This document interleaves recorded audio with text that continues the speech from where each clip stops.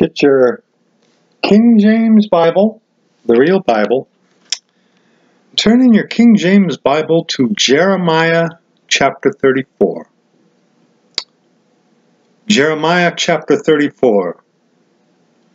Jeremiah is my favorite book in all of Scripture. Jeremiah chapter 34. We're going to be doing some skipping around in this chapter, but check this out. Jeremiah chapter 34. Go in your King James Bible, the real Bible, and follow me along in the scriptures that we will be looking at. Okay? First, Jeremiah chapter 34, verses 1 on to verse 3. Okay? Follow me along in the King James Bible, real Bible. Jeremiah 34, beginning with verses 1 on to verse 3. The word which came unto Jeremiah from the Lord when Nebuchadnezzar, king of Babylon, and all his army, and all the kingdoms of the earth of his dominion, and all the people fought against Jerusalem and against all the cities thereof, saying, Thus saith the Lord, the God of Israel, Go and speak to Zedekiah, king of Judah, and tell him, Thus saith the Lord, Behold, I will give this city into the hand of the king of Babylon, and he shall burn it with fire. And thou shalt not escape out of his hand, but shall surely be taken, and delivered into his hand, and thine eyes shall behold the eyes of the king of Babylon, and he shall speak with thee mouth to mouth, and thou shalt go to Babylon. Now, very quickly look back at verse 1. The word which came unto Jeremiah from the Lord, when Nebuchadnezzar king of Babylon, and all his army, and all the kingdoms of the earth and of his dominion, and all the people fought against Jerusalem, and against all the cities thereof saying. So Nebuchadnezzar was going against Jerusalem, attacking it, besieging it. Okay? Nebuchadnezzar was literally knocking on the door. And the Lord had warned the children of Israel that they were going to lose and go into captivity. Okay? Now skip down in Jeremiah 34 to verses 8, and we will be reading from verses 8 on to verse 17. Okay? Check this out. Now Jeremiah 34 verses 8 on to verse 17. This is the word that came unto Jeremiah from the Lord after that the king Zedekiah had made a covenant with all the people which were at Jerusalem to, to proclaim liberty unto them. That every man should let his manservant and every man his maidservant, being a Hebrew or a Hebrewess, go free, that none should serve himself of them, to wit, of a Jew his brother. Now that is in accordance to the law. Okay? That is definitely in accordance to the law in uh, the references are Leviticus 25, verses 39 on to verse 46. Okay? And also in Nehemiah verse, uh, chapter 5, verses 8 on to 12. Okay? Those are references about how this is in accordance to the law, what they were doing. Okay? To proclaim liberty, to the, their servants who were Hebrews. Okay? Verse 10. Now when all the princes and all the people which had entered into the covenant heard that everyone should let his manservant and everyone his maidservant go free, that none should serve themselves of them any more, then they obeyed and let them go. They done they did done something right according to the law. out. Verse 11. But, but, afterward they turned and caused the servants and the handmaids whom they had let go free to return and brought them into subjection for servants and for handmaids. They changed their mind because there was no change in them. Verse 12 Therefore the word of the Lord came to Jeremiah from the Lord, saying, Thus saith the Lord, the God of Israel I made a covenant with your fathers in the day that I brought them forth out of the land of Egypt, out of the house of bondmen, saying, At the end of seven years, let ye go every man his brother in Hebrew, which hath been sold unto thee. And when he hath served thee six years, thou shalt let him go free from thee. But your fathers hearkened not unto me, neither inclined their ear. And ye were now turned, and had done right in my sight, in proclaiming liberty, every man to his neighbor. And ye had made a covenant before me in the house which is called by my name. But ye turned and polluted my name, and caused every man his servant, and every man his handmaid, whom ye had set at liberty, at their pleasure, to return, and brought them into subjection, to be unto you for servants and for handmaids. Therefore thus saith the Lord, Ye have not hearkened unto me, in proclaiming liberty, every one to his brother, and every man to his neighbor. Behold, I proclaim a liberty for you, saith the Lord, to the sword, to the pestilence, and to the famine. And I will make you to be removed into all the kingdoms of the earth. No change. There was no change.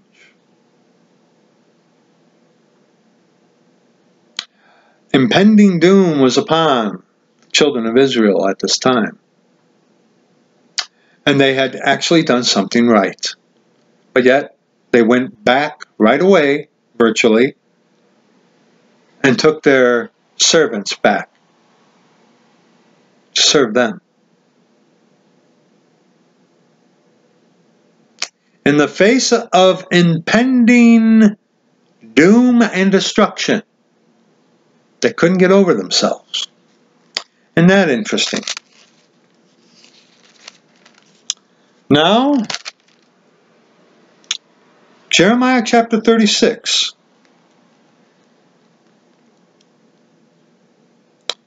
We will begin in Jeremiah chapter 36, verses 1 on to verse 3 again. Okay? Jeremiah chapter 36, verses 1 on to verse 3. And it came to pass in the fourth year of Jehoiakim, the son of Josiah, king of Judah, that this word came unto Jeremiah from the Lord, saying, Take thee a roll of a book, and write therein all the words that I have spoken unto thee against Israel, and against Judah, and against all the nations from the day I spake unto thee, from the days of Josiah even unto this day.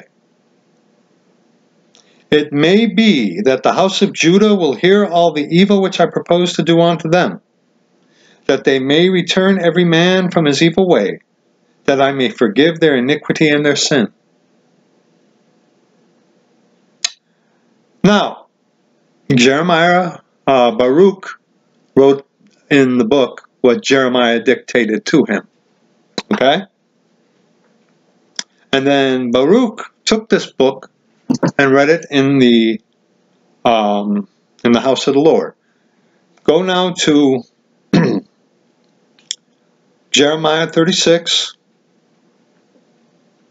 verses 10 on to verse 12. Okay? If you want to read the context, the entire chapters on your own time, like we did in Jeremiah 34 and 36, please feel free. But showing you something here. Jeremiah 36, verses 10 on to verse 12. Then read Baruch in the book the words of Jeremiah in the house of the Lord, in the chamber of Gemariah the son of Shaphan, the scribe, in the higher court, at the entry of the new gate of the Lord's house, in the ears of all the people.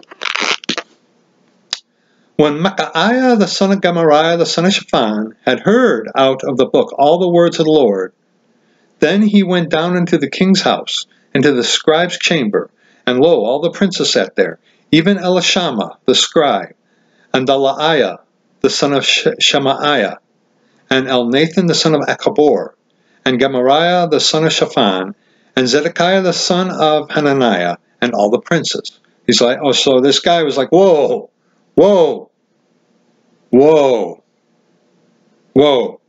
Now look at, now we're going to skip verse 13 and go to verses 14 on to verse 16. Okay? 14 on to verse 16. Okay?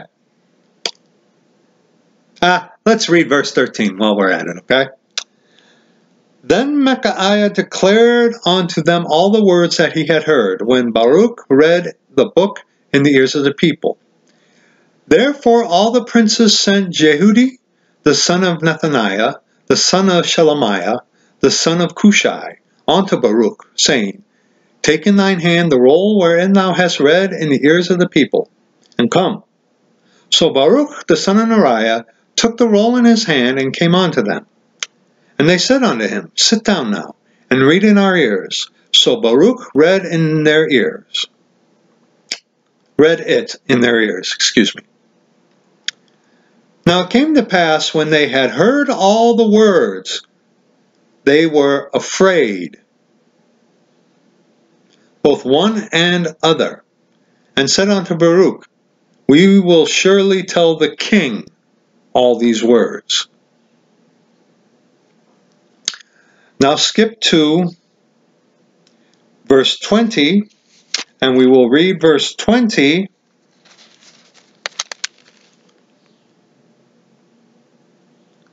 on to verse 26. Okay? Verse 20 on to verse 26. Follow me along, of course. And they went into the king, into the court, but they laid up the roll in the chamber of Elishama the scribe, and told all the words in the ears of the king. So the king sent Jehudi to fetch the roll, and he took it out of Elishama the scribe's chamber.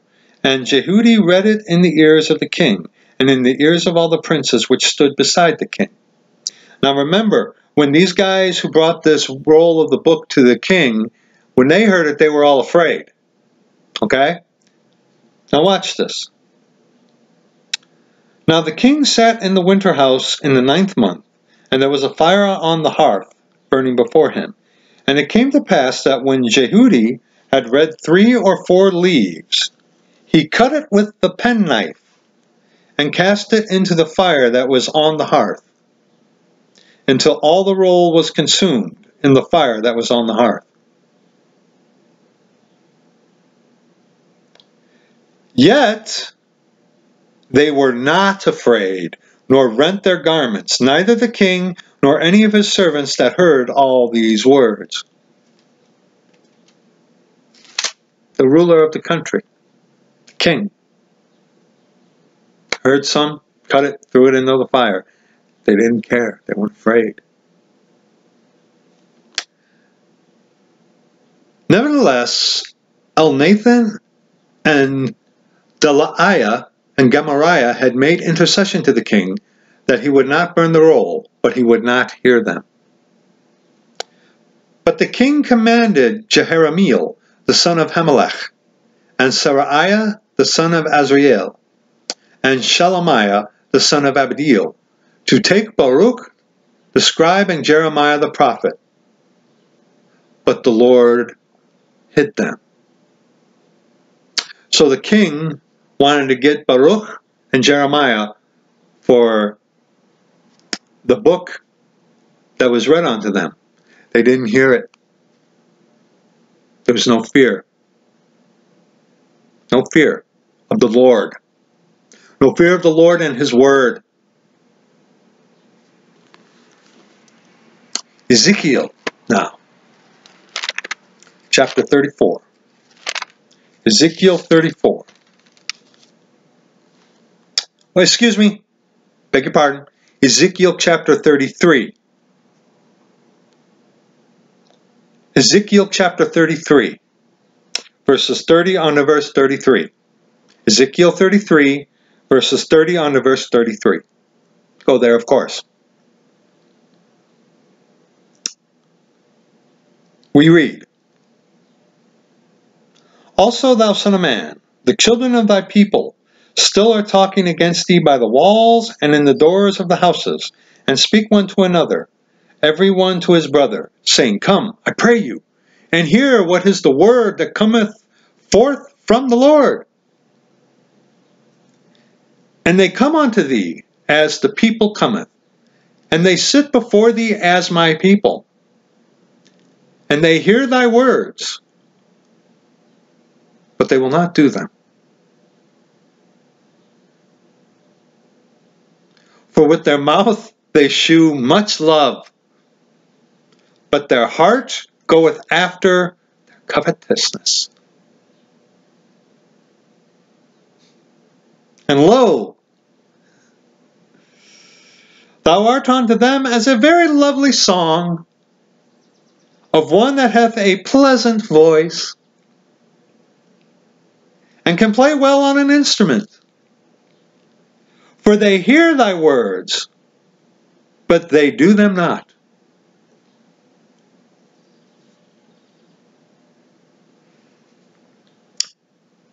And when this cometh to pass, lo, it will come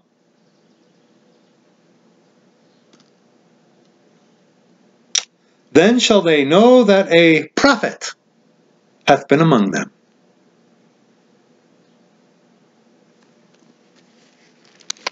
Second Timothy. Oh yeah. Familiar verses. Second Timothy chapter 3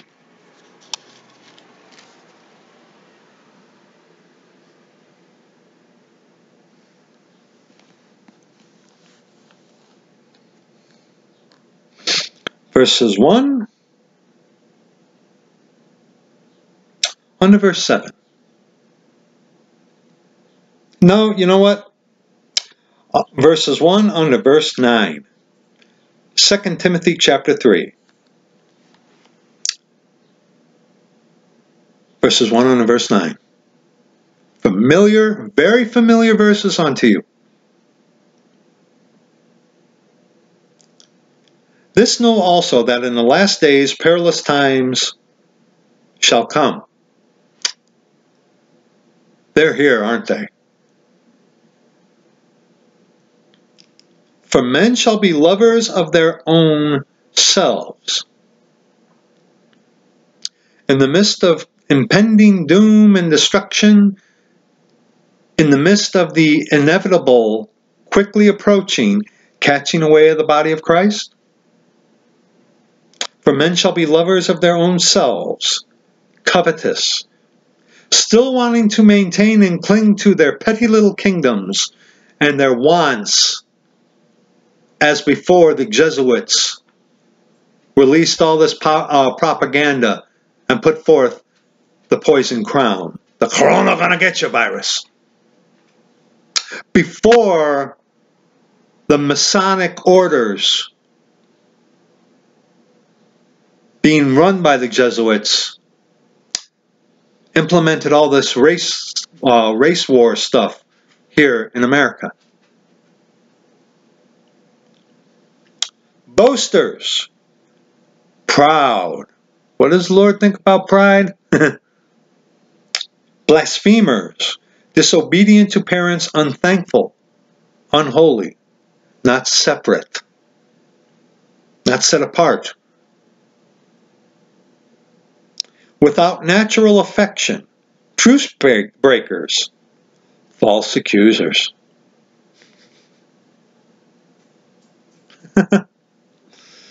Incontinent, fierce, despisers of those that are good. Hello, brother and sister.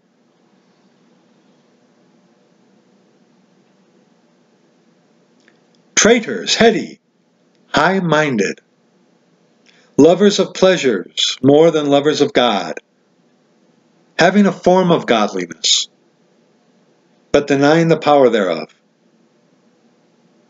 From such, turn away. For of this sort are they which creep into houses and lead captive silly women, laden with sins, led away with divers lusts, ever learning, and never able to come to the knowledge of the truth. Now as Jannes and Jambres which stood withstood Moses, so do these also resist the truth. Men of corrupt minds, reprobate concerning the faith. but they shall proceed no further. For their folly shall be, be manifest unto all men, as theirs also was.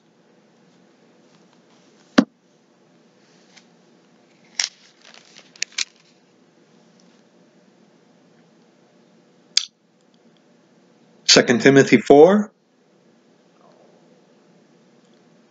verses 3 and 4.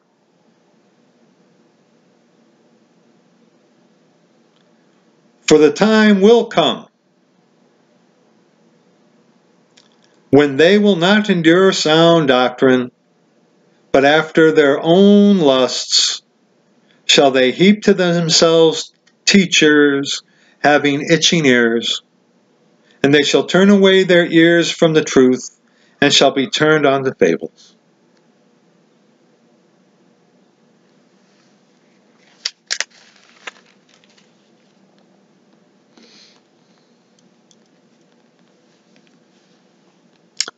Titus.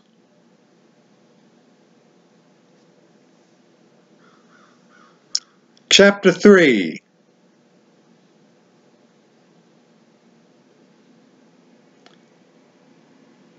verses 8 on to verse 11.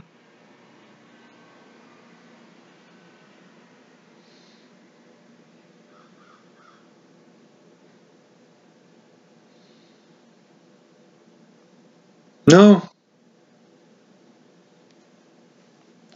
Titus chapter 2. Beg your pardon, brethren. First, Titus chapter 2. Sorry about that. Verses 11 on to verse 15 to close out the chapter. Titus chapter 2, verse 11 on to verse 15 to close out that chapter. For the grace of God that bringeth salvation hath appeared to all men, teaching us that denying ungodliness and worldly lust, we should live soberly, righteously and godly in this present world. Present world. Looking for that blessed hope. Catching away the body of Christ before the time of Jacob's trouble. And the glorious appearing of the great God and our Savior Jesus Christ, who gave himself for us, that he might redeem us from all iniquity and purify unto himself a peculiar people, zealous of good works. These things speak and exhort, and rebuke with all authority. Let no man despise thee. Now, now, Titus chapter 3, verses 11, uh, verses 8 on to verse 11. Titus chapter 3, verses 8 on to verse 11.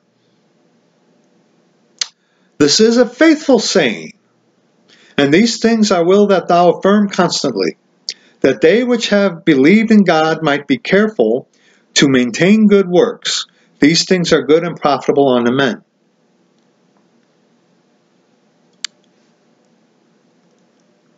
But avoid foolish questions and genealogies and contentions and strivings about the law, for they are unprofitable and vain. A man that is an heretic after the first and second admonition reject. Bye bye bye bye bye. Knowing that he that is such is subverted and sinneth,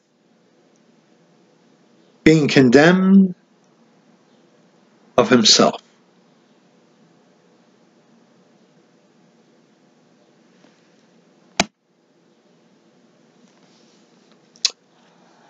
You know, brethren, I don't know about you. There are occasionally, occasionally, that I have found in my personal witnessing outside my door. Every once in a rare while nowadays, you will find someone who is genuinely interested in truth.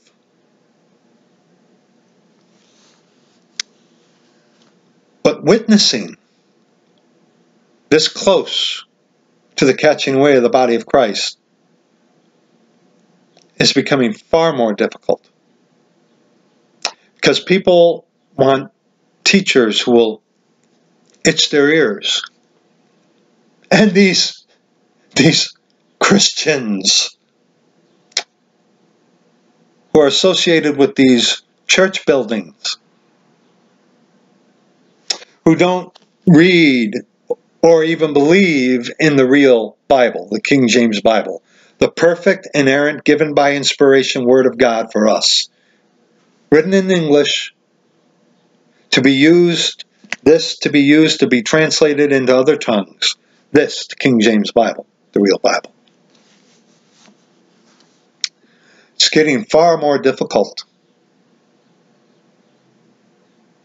You know, Monday, I went out about my town and just did a whole bunch of tracting, you know.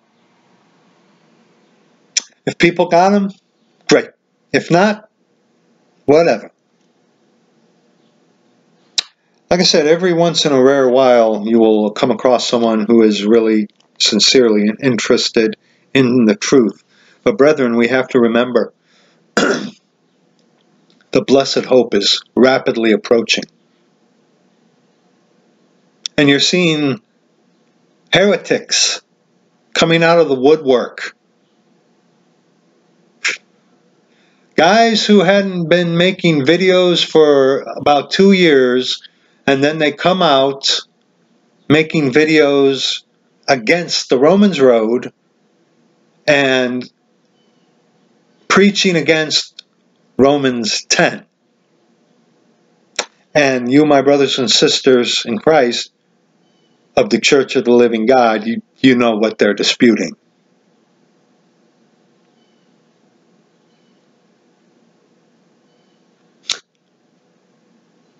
And the enemies, the Jesuit coadjutors and the Jesuits themselves, are issuing challenges to come to defend their beliefs with people who are lost and on their way to hell. It's a trap. Want to trap you, snare you. Don't fall for it, brethren.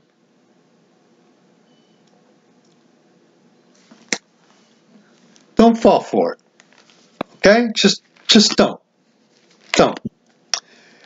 You know, brethren, with these coadjutors and Jesuits themselves, um, you're wasting your time. You really are. You really are. They just want to debate, cause division, cause strife. That's all they want to do.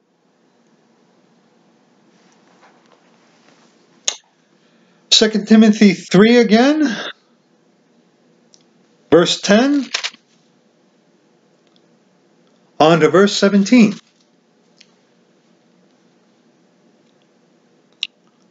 But thou hast fully known my doctrine, manner of life, purpose, faith, long suffering, charity, patience.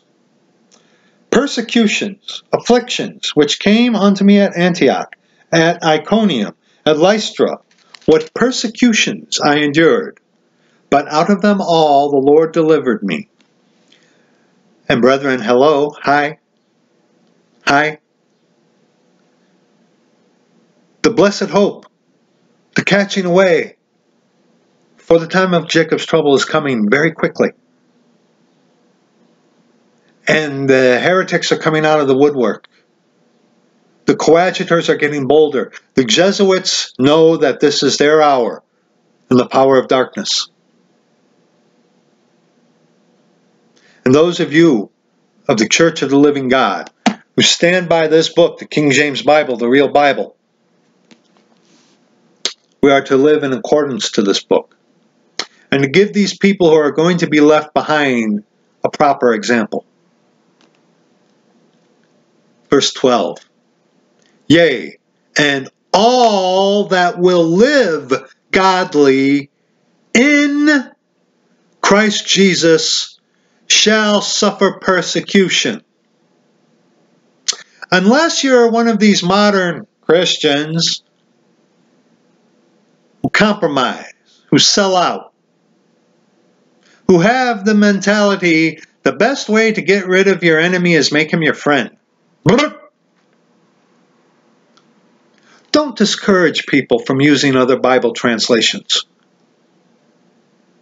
Don't just oh, oh yeah, I, I read the King James Bible. It's a good translation.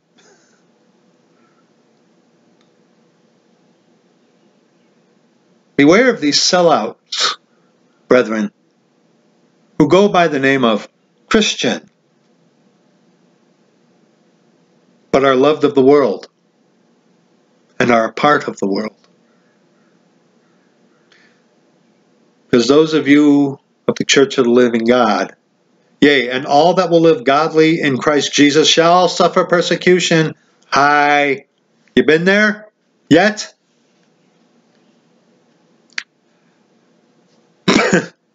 but evil men and seducers shall wax worse and worse, deceiving and being deceived.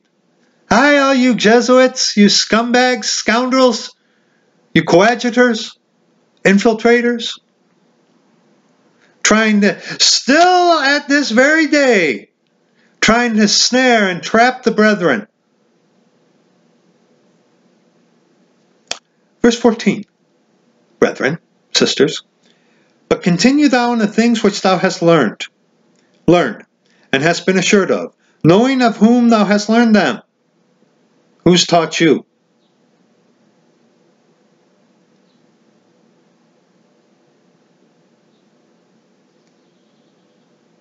And that from a child thou hast known the Holy Scriptures, which are able to make thee wise unto salvation through faith which is in Christ Jesus.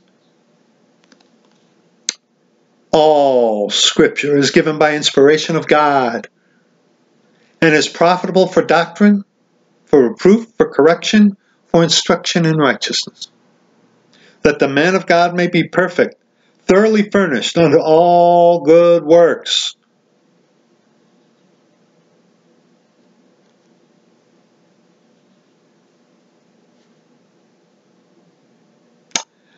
Jump down to 2 Timothy chapter 4, verse 5. On to verse 8. But watch thou in all things, endure afflictions, do the work of an evangelist, of an evangelist, excuse me. Make full proof of thy ministry.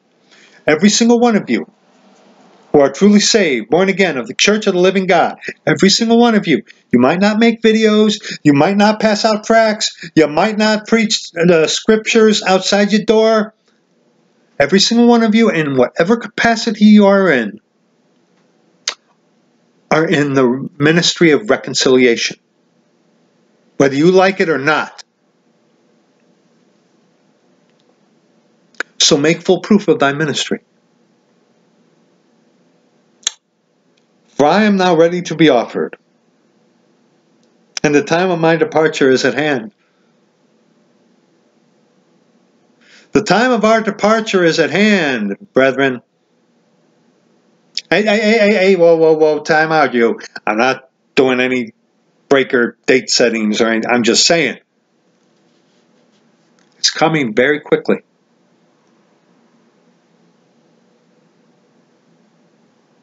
I have fought a good fight. I have finished my course. I have kept the faith. Henceforth there is laid up for me a crown of righteousness, which the Lord, the righteous judge, shall give me at that day, and not to me only, but unto all them also that love his appearing.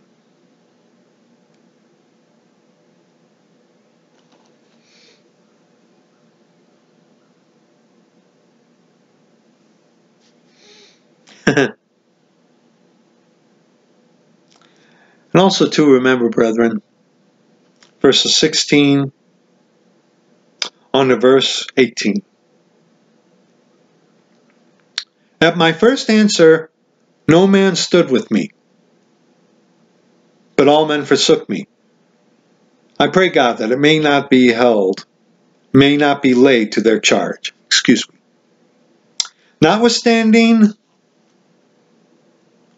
the Lord stood with me and strengthened me, that by me the preaching might be fully known, and that all the Gentiles might hear. And I was delivered out of the mouth of the lion. And the Lord shall deliver me from every evil work, and will preserve me unto his heavenly kingdom, to whom be glory forever and ever. Amen.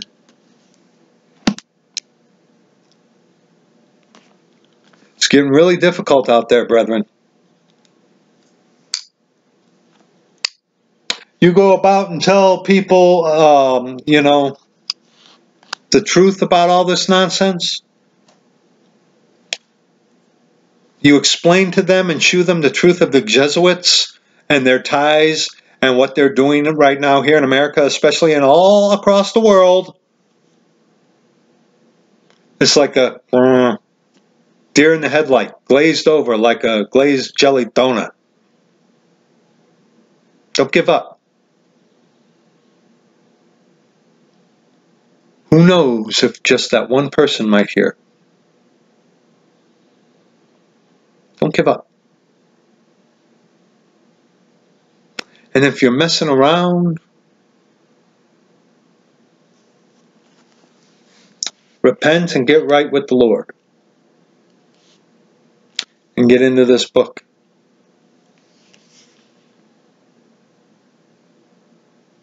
It's coming, brethren. It's coming.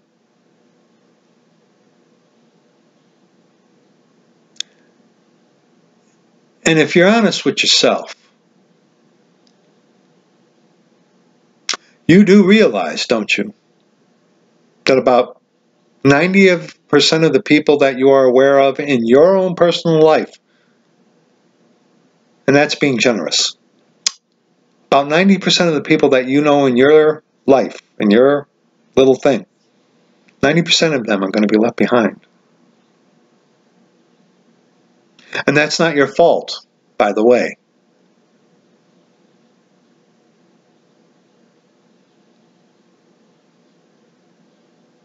People are prepared. Covetous still. With impending doom,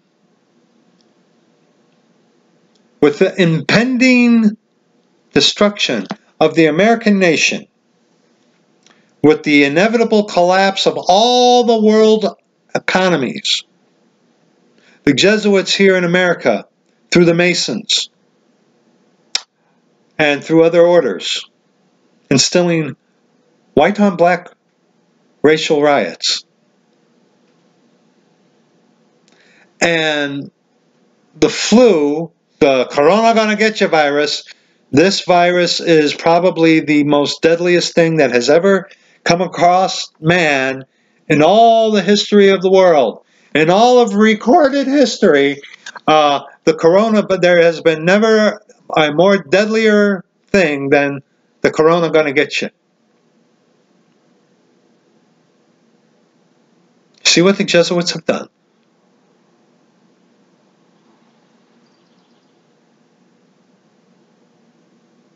If you happen to see this and you're lost, I'm going to link uh, both of the salvation videos that the Lord had me to do in this video. I have no idea what this is going to be called. I do have to go to work. It's uh, 7.13 my time, a.m., as I record this.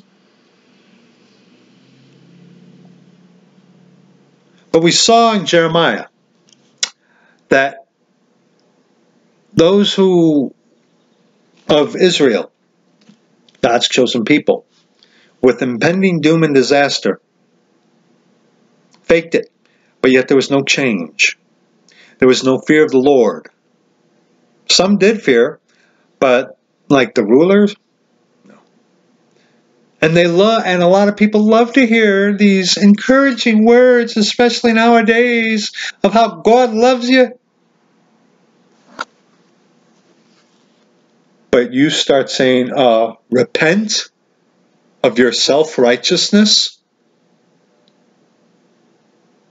Repent. You need to be broken of yourself. Repent of yourself. Believe on what the Lord Jesus Christ did for you on the cross, that He is God, the Father, totally God, and go ahead and call on His name. You know why people don't like, you know why these people are against calling on the name of the Lord? Because it is the ultimate shoe of you humbling yourself. See, when you call upon the name of the Lord,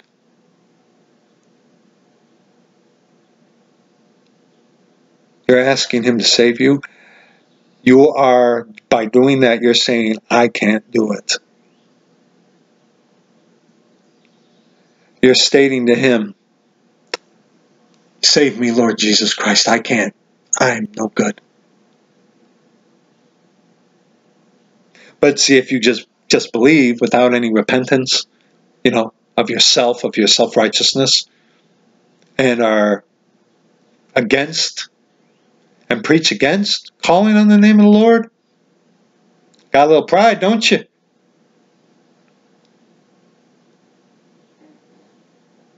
For those of you who uh, preach against truth, by calling on the name of the Lord,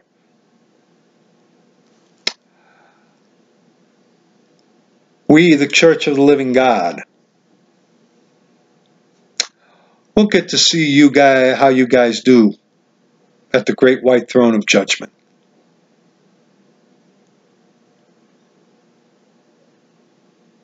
I gotta go. I don't know when my next video will be. I do have quite a big thing on the Jesuits that I need to get done. I've been procrastinating, I will be honest with you. Fight the good fight, brethren. It's coming. Love you. See you in the next video, whenever or whatever that may be.